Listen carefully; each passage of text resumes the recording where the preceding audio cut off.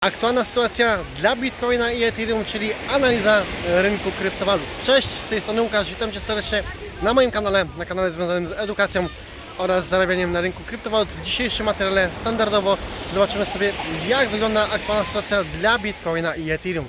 Także jeżeli jesteś nową osobą na moim kanale lub jeszcze nie subskrybujesz, zachęcam Cię do zostawienia suba, aby być na bieżąco z kolejnymi materiałami. Nie zapomnij przybić dzwona, zostawić łapki w górę i lecimy z tematem. Za chwilkę przejdziemy przed ekran mojego komputera, zobaczymy sobie jak wygląda sytuacja i czego możemy się spodziewać w najbliższych godzinach, w najbliższych dniach. Jesteśmy już przed ekranem komputera, także za chwilę przechodzimy do aktualnej analizy Bitcoina i Ethereum. Na początek pytanie do Was, czy Waszym zdaniem powtórzy się scenariusz, powtórzy się to, co było w 2017-2018 roku, kiedy w 2017 pod koniec tego roku 2017 właśnie cały rynek kryptowalut bardzo mocno szedł do góry i z początkiem 2018 roku zaczęliśmy e, spadki. Czy będzie powtórzony ten schemat? Czy rynek będzie po raz kolejny fraktalny właśnie i czy ten cykl się powtórzy? Dajcie znać w komentarzach, co Wy o tym myślicie. I jeszcze jest jedna bardzo ważna rzecz, z którą chciałbym wystartować w tym nowym roku, czyli dodatkowo oprócz analizy Bitcoina i Ethereum, raz w tygodniu w środę będę chciał robić dla Was analizę jednego, może dwóch altcoinów wybranych przez Was. Więc piątki, w niedzielę i poniedziałki będę sprawdzał Wasze komentarze i będę patrzył, jaki altcoin najczęściej pojawia się u Waszych w komentarzach, czyli właśnie jakiego altcoina analizę chcielibyście zobaczyć w środowych materiałach. Także piszcie pod tym materiałem. Widzimy się jutro w podsumowaniu tygodnia możliwości, jakie daje forum edukacyjne o kryptowalutach Mister Porada, czyli podsumowanie tygodnia sygnałów od zawodowego tradera z naszego forum. Tam również będę czekał na Wasze komentarze poniedziałek widzimy się w analizie rynku kryptowalut, a w środę wystartujemy właśnie z tą nową serią. Może nie o tyle co nową serią, co po prostu dodamy altcoiny również do analizy rynku kryptowalut. Jeżeli jesteś nową osobą na moim kanale, pamiętaj, aby zostawić suba, łapkę w górę i lecimy z tematem, czyli lecimy z analizą rynku kryptowalut. I jak widzicie, Bitcoin jest w wyznaczonej przeze mnie strefie czerwonej, o której Wam mówiłem już poprzednich materiałach jeszcze ponad tydzień temu. Zobaczcie, że początek strefy, zawsze najważniejszy, pamiętajcie, jest początek i koniec tej e, strefy. Oczywiście cała strefa jest to miejsce na reakcję i jak widzieliśmy, początek tej strefy dał nam spadki do poziomu zakresu korekty wyznaczonej według strategii właśnie Mister Parady, czyli naszego forum edukacyjnego, strategii naszego tradera, czyli zakresu korekty jednodniowej, która cały czas i podkreślam Wam to w każdym materiale od dłuższego czasu wybrania za każdym razem, kiedy mamy spadki, tak, ten zakres korekty, tej korekty, którą przesuwam oczywiście z każdym nowym szczytem, ale ta, ten zakres wybrania cenę przed dalszymi spadkami, więc cena dochodzi do tego poziomu i odbija i idzie z kolejnymi poziomami, czyli wybija nowe ATH, co obserwujemy od dobrych kilkunastu dni.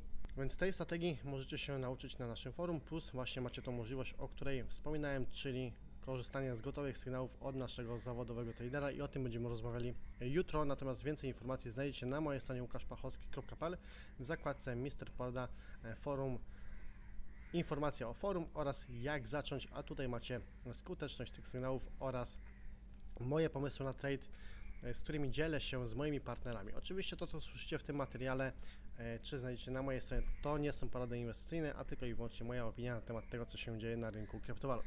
Więc Mówiłem Wam o potencjalnym dojściu ceny do 30 tysięcy dolarów i właśnie to za chwilkę będzie miało miejsce. Widzimy, że Bitcoin właśnie na Waszych oczach w tym momencie dobija do 30 tysięcy e, dolarów i czy to będzie poziom, po którym zobaczymy spadki, tego jeszcze nie wiemy, natomiast ja czekam pierwsze co na wybicie tej korekty jednodniowej z interwału właśnie jednodniowego. Aktualny lokalny poziom na, na wzrosty to właśnie 28 600, więc jeżeli stąd spadniemy i stąd się odbijemy jeszcze, możemy zobaczyć kolejne wzrosty, natomiast wybicie e, tej strefy będzie dla mnie pierwszym potwierdzeniem na ewentualną zmianę trendu i rozpoczęcie e, spadków. Myślę, że wielu z Was również na te e, spadki od dłuższego czasu czeka, ponieważ cena według mnie jest bardzo wysoka i według mnie osobiście to nie jest czas na zakupy, a ewentualnie na realizację zysków. Dzisiaj krótka analiza, ponieważ czekamy na to, co się wydarzy, natomiast widzimy również, że na Bitcoinie mamy wzrosty, na Ethereum mamy spadki, czyli kapitalizacja i dominacja Bitcoina nam tutaj rośnie w tym momencie. Widzimy, dominacja Bitcoina właśnie nam rośnie i dochodzi do kolejnego poziomu, gdzie mamy do wypełnienia imbalans i ciekawe, co tutaj się wydarzy, czy właśnie to za chwilkę będzie mm, moment na odwrócenie tej tendencji dominacji Bitcoina i dominacja zacznie spadać. Ja aktualnie jestem poza rynkiem, obserwuję to, co się e, dzieje, ponieważ właśnie Bitcoin dochodzi do tej strefy, o której mówiłem i nie wiadomo, jak się cena e, zachowa. Natomiast macie tutaj również wyznaczone przeze mnie e, strefy, strefy, w których ja będę oczekiwał reakcji zarówno wzrostowych, jak i spadkowych, jeżeli chodzi o Ethereum. Strefa na spadki to jest taka powiedzmy strefa, której ja oczekuję, ale pamiętacie, mówiłem Wam w poprzednich materiałach jeszcze, zobaczcie, sprzed dwóch, trzech tygodni nawet, że tu mamy strefę na spadki i dwa razy, trzy razy w sumie cena stąd spadała. Również reakcja na górnej bandzie tego, tej strefy, to co o czym mówiłem, czyli początek i koniec. Tych stref są dla mnie najważniejsze, jeżeli chodzi o moją analizę. I lokalne e, strefa na spadki to jest 750, 760 i kolejna strefa zaczyna się 764, 785 dolarów. To są właśnie moje poziomy, gdzie ja będę oczekiwał reakcji i kontynuacji tych spadków.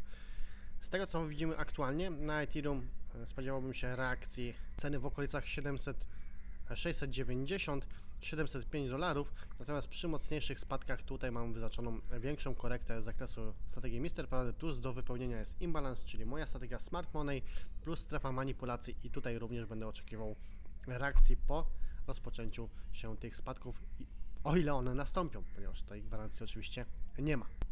Ale jeżeli chodzi o potencjalne wzrosty, to właśnie tutaj spodziewałbym się zatrzymania ceny. Mamy wybicie linii trendu. Zobaczcie, wybicie linii trendu, a lekki retest, który był tutaj. Wczoraj właśnie nagrywałem dla Was materiał, niestety nagrał się bez dźwięku i już odpuściłem, dlatego dzisiaj wrzucam dla Was e, nową analizę i widzimy, że cena się odbiła od tego, e, tej linii trendu, tego retestu i zeszła nam o kilkadziesiąt e, dolarów. Dajcie znać w komentarzach, co Wy na ten temat myślicie. Dajcie znać w komentarzach, co Wy myślicie na temat ceny Bitcoina oraz o tych altach, o których wspomniałem. A jeżeli chcecie dołączyć do naszego forum, pamiętajcie, że jeszcze do 5 macie możliwość skorzystania z rabatu 30% plus 14 dni ekstra i tak naprawdę za cenę zrabatowaną o 30%, jeżeli chodzi o subskrypcję miesięczną, czyli za cenę miesięczną obniżoną o 30%, tak naprawdę dostajecie 55 dni dostępu do naszego forum, czyli edukacja oraz dostęp na sygnały od naszego zawodowego tradera.